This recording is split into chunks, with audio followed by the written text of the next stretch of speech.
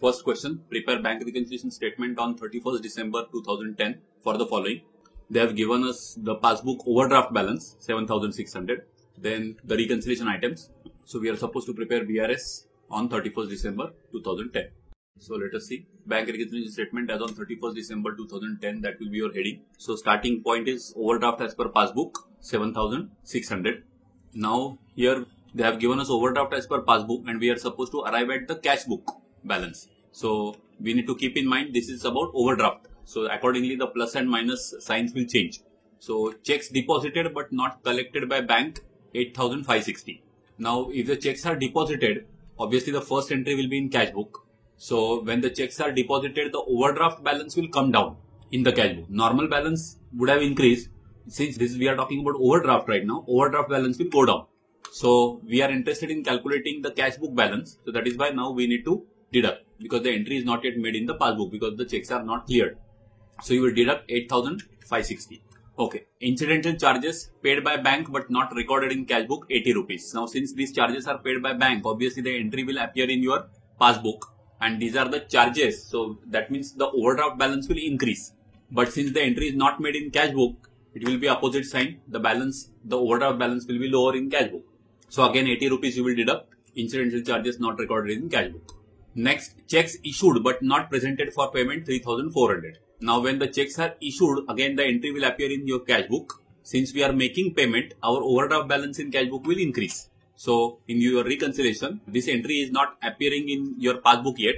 So your cash book overdraft balance will be higher as compared to passbook overdraft balance. So 3400 we will add. So add checks issued but not yet presented for payment. Next, insurance premium paid by bank not recorded in cash book. So as per standing instruction given, bank has paid the insurance premium. Since bank has paid the insurance premium, the entry will first appear in your passbook. And since it is a payment, overdraft balance in passbook will increase. But the entry is not yet made in cash book. So in cash book, it will be opposite sign that is negative. So you will basically deduct. So insurance premium directly paid by the bank 4200 less. This is all less category. This is all add category. Then on 31st December, cash deposited in bank 385. But the cashier debited the bank column with rupees 485 by mistake. The entry was correctly made in the passbook. So there was no error in passbook, but the error happened in cash book. And what is the error? The cashier by mistake has shown 100 rupees higher in the bank column. That means by 100 rupees, he has shown reduced overdraft in the cash book because he has shown higher deposit. That means the overdraft is lower. So overdraft is lower by 100 rupees in cash book, but this error was not there in passbook. That means in passbook it was shown correctly. So as compared to passbook, our overdraft balance in cash book will be lower by 100.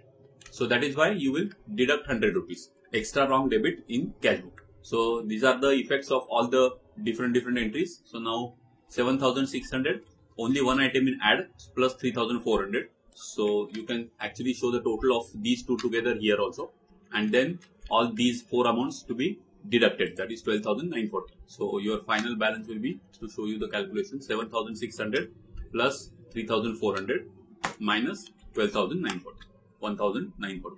Now one care that you need to remember here take here is this is a negative amount that we are getting.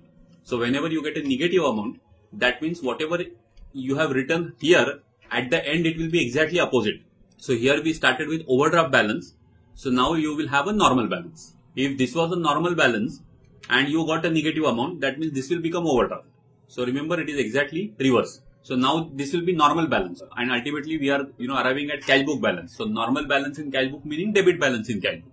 So debit balance in cash book now is 1940. You can show the positive amount only because everywhere we are showing positive amounts and since this is a debit balance in cash book appropriate to show the positive amount. So 1940 debit balance in cash book. It is not overdraft, it is your normal balance.